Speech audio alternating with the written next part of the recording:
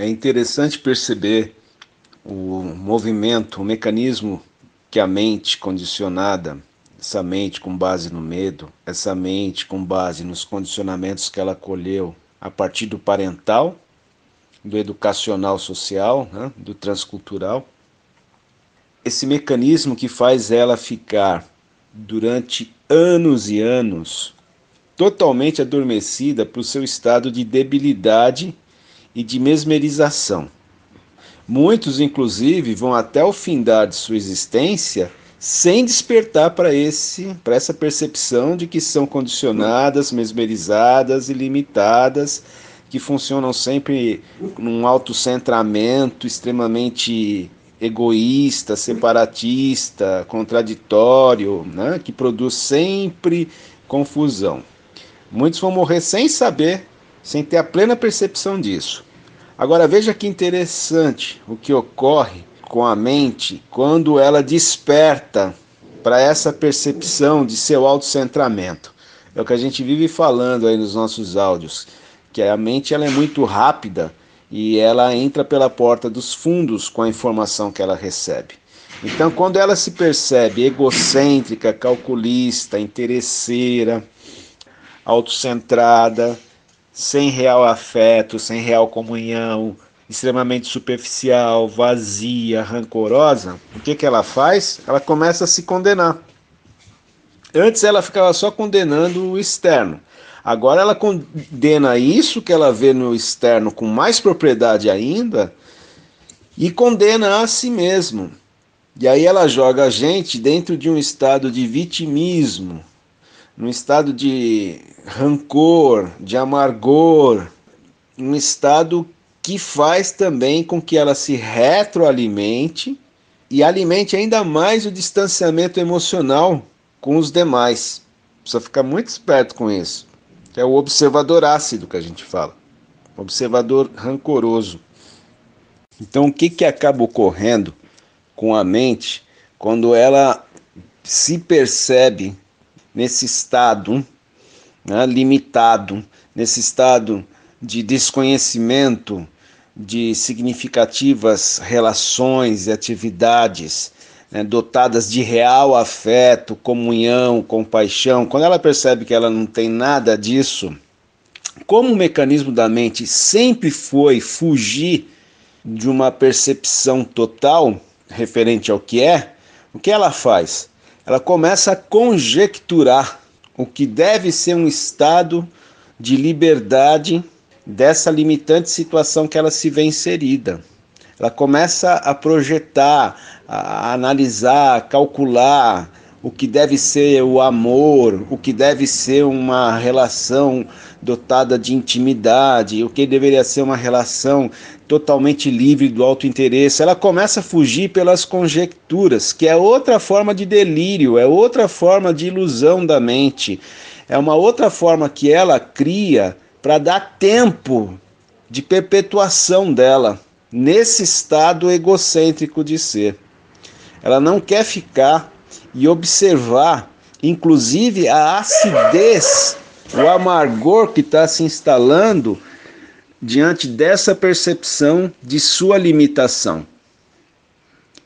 Então, perceber que esse é mais uma é mais um dos impulsos emotivos reativos da mente pela qual ela faz uso para perpetuar esse seu reinado de desgraça esse seu reinado de desamor, esse seu reinado de confusão.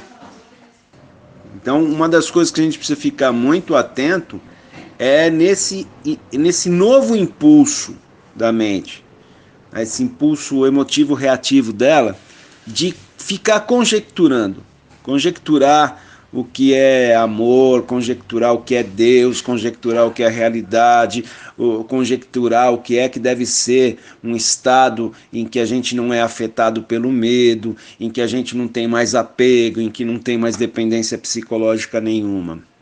Esse conjecturar não vai levar a nenhum lugar. É só mais um mecanismo da mente em que ela dá trégua a esse processo de percepção de si mesma.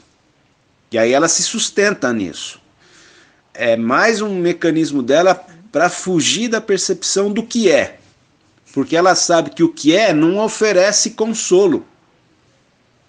O que é vem e corta. Corta o que é falso, deixa só o que é real. Então, precisa também perceber esse mecanismo que a mente faz uso e continuar na percepção sem conjecturar qualquer resultado desse estado nosso de vazio, de solidão, de insuficiência, de vazio, de tédio, de rotina, de mesmice, observar tudo isso. Observar, inclusive, qual está sendo os impulsos desse observador diante de tudo isso. Qualquer conjectura, qualquer idealização não é o que é. A foto do cardápio não é o alimento. A ideia não é o real.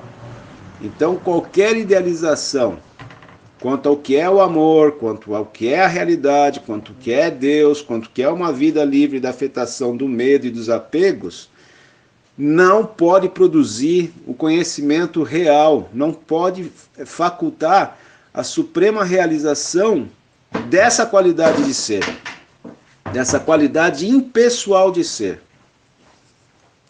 Não há a mínima possibilidade da gente descobrir o que é esse estado supremo de amor transpessoal, ou seja, desse amor que transpassa qualquer apego a objeto e sujeito, não tem como a gente saber o que é isso se nós não soubermos plenamente o que ocorre dentro de nós que não é esse estado de amor.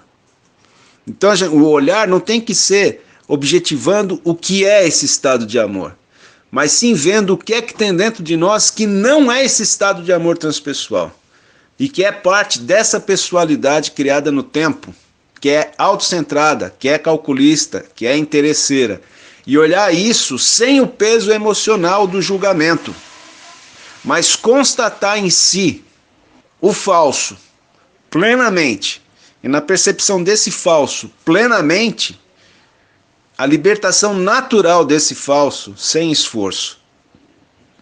Quem sabe nisso pode-se saber o que é esse estado, não criado pelas conjecturas da mente.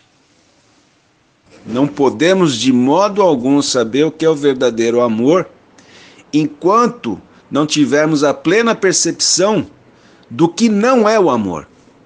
A começar pela falácia desse mito romântico pessoalizado, calculista, controlador, que a gente é condicionado desde a mais tenra idade.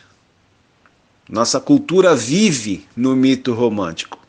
Se a gente não sai, se não percebe a falácia desse mito romântico, não há a mínima possibilidade de saber o que é a realidade do amor, que é transpessoal, não é pessoalizado, não é objetivado. Não é localizado, não é temporal.